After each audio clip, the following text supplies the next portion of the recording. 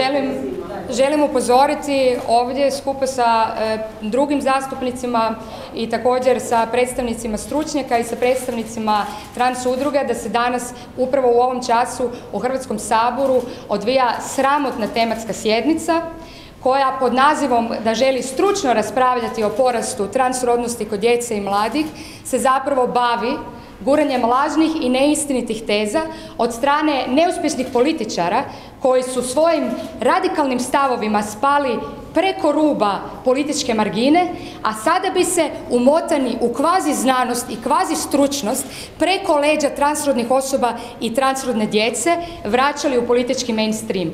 Sramotno je da je to tako organizirano, na sramotu je socijaldemokrata i njihovog kluba, njihova predsjednica organizirala taj stručni skup na kojem su nas o transrodnosti trebali poučavati notorni likovi poput gospodina Hermana Vukušića, gospođe Željke Markić koji se pet minuta u životu nisu bavili temom transrodnosti. Samo da vam kažem čisti argumenti, čisti dokaz u prilog tome u pozivu na ovu sjednicu oni iznose lažne brojke o navodnih gotovo 200 nove djece godišnje sa poremećajima, pazite ovo, spolne orijentacije.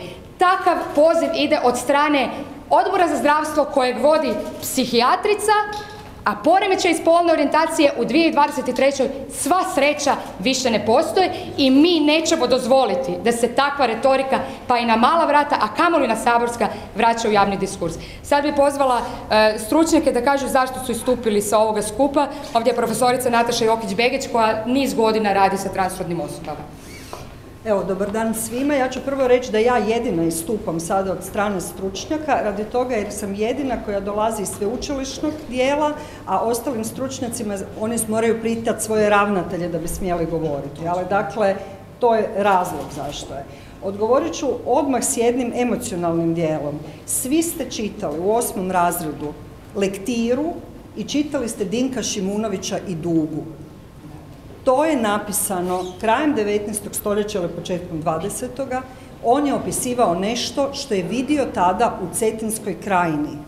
Dakle, nije vidio na internetu, nije došlo iz, iz neke znam kakvih rodnih ideologija, opisao je tugu jedne djevojčice koja je htjela proći ispod duge da bi promijenila spol.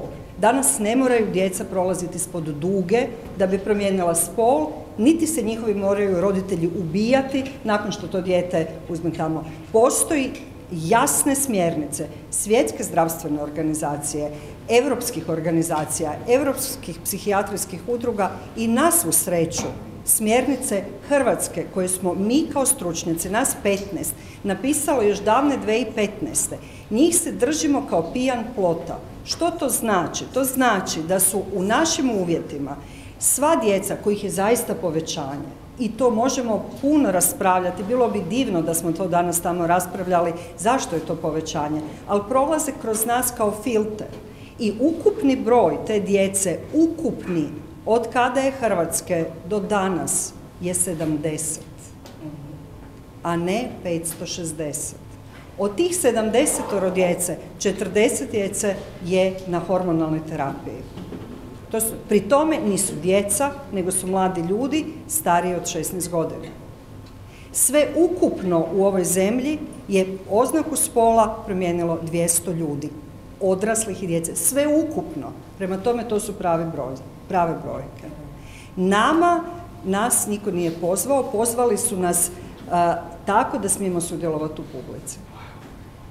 Ja mislim da Sabor nije mjesto za stručne rasprave, da je Sabor mjesto u kojem bi se saborski zastupnici od stručnjaka trebali informirati kakvo je stanje stvari. Mi nismo ničiji stručnjaci, mi ovo radimo 15 godina, pri tome sami smo najobičniji neki, to se tako zove, cis ljudi, obični ljudi smo neki. Nemamo ništa, nikakvu agendu nemamo oko toga, nemamo niko od nas oko toga da bi htjeli mijenjati spol. Imamo djecu i vjerujte da znamo tugu roditelja koja, e, čija djeca su u ovakvoj situaciji i da je to nešto, ako možemo pomoći, ako nekome možemo pomoći, zašto mu ne bi pomogli? To je stvar, to je stvar civilizacijskog dosega. Hvala lijepo. Sada će ispred udruge kolektiv izjavu dati Dijana Avdić i Espi Tomičić. Pozdrav, dobar dan. E, mi smo zapravo došli s idejom nekog otvorenog dijaloga, ali samom najavom govornika je to prekinuto, tako da pozdravljamo prekid sjednice i žao nam je što se na uštrb djece i njihovog zdravlja i mogućnosti u ovoj e, našoj državi e, pokreću političke kampanje osoba koje već neko vrijeme nisu aktivne u politici.